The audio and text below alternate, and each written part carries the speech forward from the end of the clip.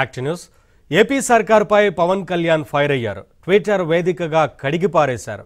Mega DSC notification లేదు teacher recruitment లేదు teacher training లేదు. కానీ నష్టాలు వచ్చే స్టార్టప్కి కోట్లలో కాంట్రాక్ట్ వస్తుందని విమర్శించారు.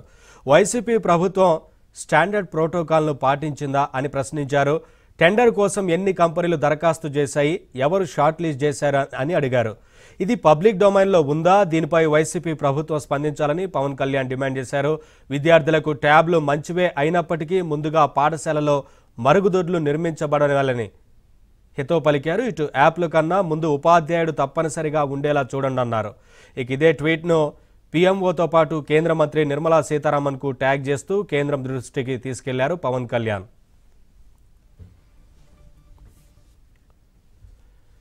వివరాలు మా కరెస్పాండెంట్ ప్రసాద్ అందిస్తారు. ప్రసాద్ ట్వీట్కి సంబంధించి ఏంటి వివరాలు? పవన్ వైసీపీ ప్రభుత్వ వైఫల్యాలపై అవకాశం ఉన్నప్పుడల్లా పవన్ కళ్యాణ్ ట్వీట్ల ద్వారా తన విమర్శలు వ్యక్తం చేస్తా ఉన్నారు. ఇప్పటికే అనేక లోపాలను ఎత్తి చూపిన పవన్ కళ్యాణ్ తాజాగా మరోసారి సెటారికల్గా ట్వీట్ చేశారు. మెగా డిఎస్సి నోటిఫికేషన్ లేదు. టీచర్ రిక్రూట్మెంట్ లేదు. టీచర్ ట్రైనింగ్ లేదు అంటూ విద్యా వ్యవస్థలో ఉన్న లోపాలను ఆయన ఎత్తి చూపారు. ఎందుకంటే గత కొంతకాలంగా వైసీపీ ప్రభుత్వ విధానాలపై ఉపాధ్యాయులు కూడా తీవ్ర స్థాయిలో ఆక్షేపణ వ్యక్తం చేస్తా ఉన్నారు. అనేక సందర్భాల్లో నిరసన కార్యక్రమాలు కూడా చేపట్టినప్పుడు కూడా ఆ విద్యాశాఖ మంత్రి బొత్స సత్యనారాయణ కావచ్చు సీఎం జగన్మోహన్ రెడ్డి అలాగే విద్యాశాఖ ఉన్నతాధికారులు తరచూ కూడా తమ విధానాలను సమర్థించుకుంటూ వచ్చారు. అయితే ఈసారి మాత్రం పవన్ కళ్యాణ్ ముఖ్యంగా బైజూస్ ట్యాబుల్ వ్యవహారాన్ని ప్రస్తావిస్తూ ఈ రోజు చేసిన ట్వీట్ కూడా రాజకీయంగా చర్చనీయాంశంగా మారింది.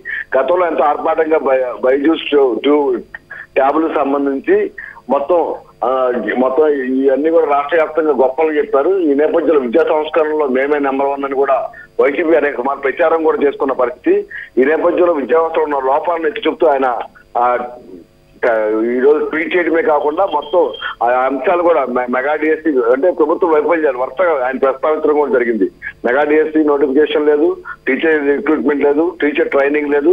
నష్టాలు వచ్చే స్టార్ట్అప్లోకి కొత్త కాంట్రాక్ట్లు ఎలా ఇస్తున్నారని ప్రశ్నిస్తూనే ఈ అన్ని అంశాలను కూడా విచారించాలి అనే విధంగా ఆ కేంద్ర ఆర్థిక మంత్రి నిర్మలా సీతారామన్కి అలాగే పిఎంఓ కూడా ట్యాగ్ చేస్తూ ఆయన ప్రస్తావించడం జరిగింది. అదేవిధంగా ట్యాబుల్ పంపిణీ కోసం ఎన్ని కంపెనీలు టెండర్లు దరఖాస్తు చేశాయి ఎవరు షార్ట్ లిస్ట్ పెట్టారు. ఎవరెవరికి ఏ విధంగా ఏ విధానంలో కేటాయించారు ఇవన్నీ అంశాలపై కూడా వైసీపీ ప్రభుత్వం కూడా స్పందించాలని డిమాండ్ చేస్తూనే పరోక్షంగా కేంద్ర ప్రభుత్వాన్ని కూడా ఈ అంశాలపై దృష్టి పెట్టాలనే విధంగా కూడా ట్వీట్ చేయడం జరిగింది. దీంతో రాజకీయంగా కూడా అంటే ఆయన నేరుగా విమర్శలు చేయకుండానే మొత్తం విద్యా వ్యవస్థలో ఉన్న లోపాలను ఈ ట్వీట్ ద్వారా చెప్పినట్టు అయింది దీనిపై కేంద్ర ప్రభుత్వం కూడా స్పందిస్తుందని జనసైనికులు ఆశాభావం వ్యక్తం చేస్తున్నారు. నవీన్.